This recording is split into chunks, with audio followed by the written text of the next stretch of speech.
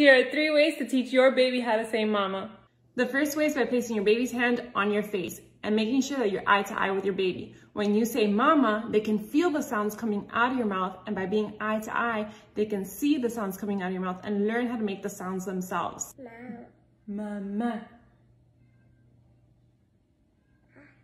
The second way is by playing peekaboo with your baby. So hide under a blanket or behind a door and then pop out and say, Mama! Where's Mama?